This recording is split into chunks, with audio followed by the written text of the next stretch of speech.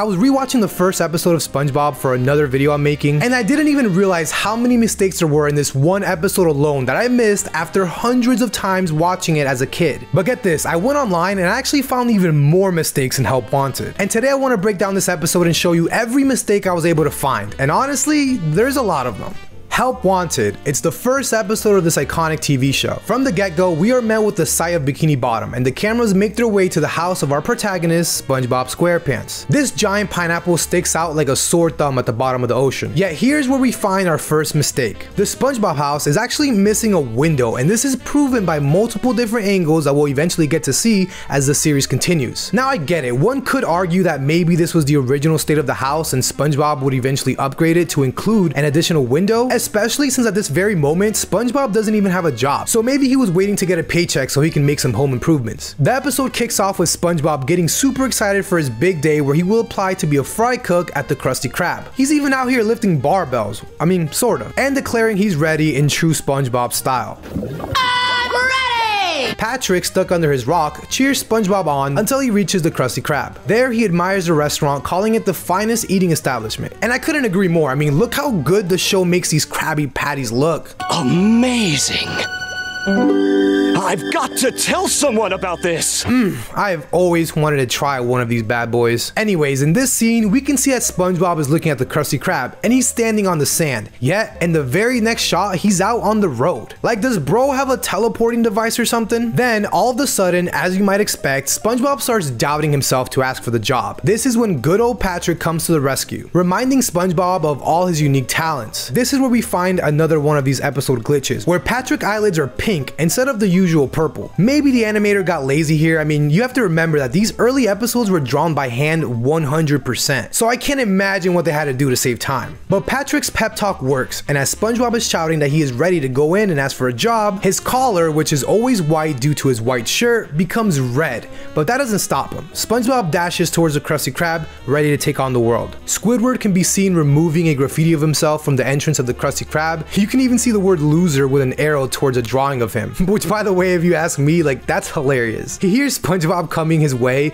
and looks back to see what's going on. And you know, he sees SpongeBob. But here's the thing, after Squidward looks back to see SpongeBob, the arrow in the graffiti is gone. Now I don't know, maybe Squidward kept cleaning while he looked back and cleaned the arrow, but I don't know, I doubt it. Squidward heads inside desperately, trying to warn Mr. Krabs about SpongeBob's arrival. When SpongeBob arrives at the Krusty Krab, the enter sign in front of the Krusty Krab is on the road sign instead of next to it. And not to anyone's surprise, but the enter sign is also missing from all of the overhead shots of the Krusty Krab throughout this episode. SpongeBob enters the Krusty Krab and in his typical enthusiastic manner asks Mr. Krabs for a job, but then he trips and just starts bouncing around everywhere. After all the bouncing around, SpongeBob confidently asks Mr. Krabs when he can start. This is another one of those subtle mistakes we can find in this episode. If you zoom into the background, you can see the screen shake for like a split second. Now this detail, I didn't see it when I was rewatching the episode, I actually had to go online to find this. Like my god, this glitch is so small. How these fans were able to find these mistakes is beyond me, but it's clearly there. Mr. Krabs, seeing an opportunity to get rid of SpongeBob, sends him on a wild goose chase for a hydrodynamic spatula.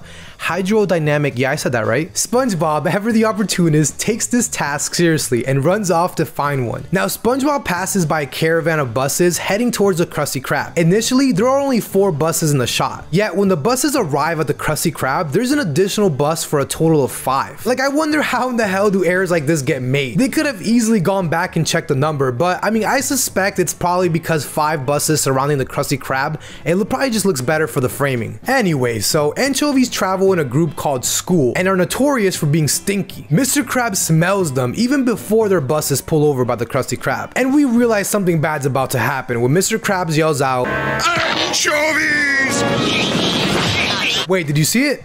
Alright, I'm gonna bring it back. So, when Mr. Krabs yells anchovies, the top of Squidward's mouth is like separated with a line. I don't know, the animators did him dirty on this one. Anyways, another mistake happens when the anchovies are getting off their buses. Their pupils seem to be small compared to their body. But then, in the very next scene which happens inside the Krusty Krab, you can see their pupils are getting bigger and more proportional to their body. Squidward, trying to calm the situation, yells at the anchovies to be quiet and if this is any way to behave. Now, you can clearly see that the Krusty Krab side window and metal back wall are both gone. Now this one was a very easy error to spot and I actually did spot this as a kid when I watched it, so I don't know, I'm pretty proud of myself for that one. But moving on, after failing trying to calm down the anchovies, Squidward and Mr. Krabs try to escape the anchovy invasion by hiding behind the counter. Now there's a sign above the counter that reads order here, but when the anchovies are picking up the boat, that sign is nowhere to be seen. I mean, perhaps they got knocked down, I don't know. The anchovies are causing such a commotion inside the Krusty Krab that they even make the building jump all over the place. In the overhead shot of the Krusty Krab where the restaurant is jumping left to right, the white spots on two of the Krusty Krab's decorated flags are purple. This error is a bit less subtle than most, but you can see it way better when the Krusty Krab is not being moved around by a bunch of anchovies. As the herd of anchovies descend on the Krusty Krab,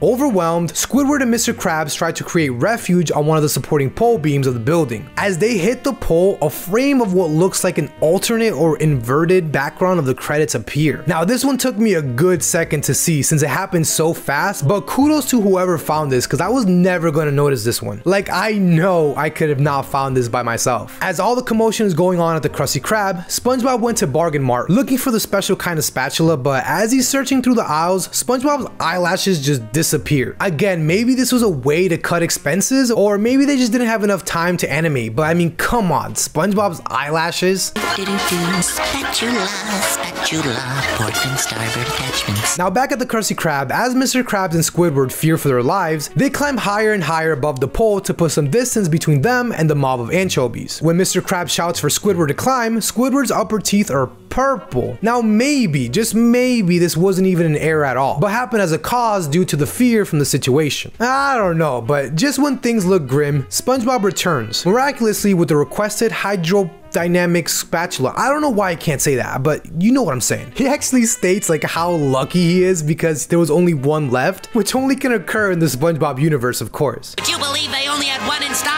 But here's the thing, I noticed in this scene how the pole Mr. Krabs and Squidward are holding onto appear to be changing color from scene to scene. Like it looks to me that sometimes the pole is red while other times the pole is blue. I don't know, I don't know, is it, is it just me? Anyway, SpongeBob immediately heads to the kitchen and starts cooking Krabby Patties to start feeding the hungry anchovies. After every single anchovy has been fed and left, Squidward and Mr. Krabs meet with SpongeBob to commend him for his burger flipping skills and even starts to cheer for him. Now this is very subtle, but if you slow down the clip, we can see that every time Mr. Krabs jumps when he says hip hip, his white undershirt disappears for a split second. Personally, I think this is one of those mistakes I would have overlooked because of the physical aspect of the drawing while Mr. Krabs is jumping, but who cares about his shirt because SpongeBob's impressive performance earns him the job. Oh yeah, and one last interesting observation to point out. The chum bucket is not across the street from the Krusty Krab in this episode. Now this is also due to the chum bucket not appearing until its debut, which makes total sense. But that's gonna be it for today's video. If you guys want me to rewatch more SpongeBob episodes, let me know in the comments down below, and I'll see you guys in the next video.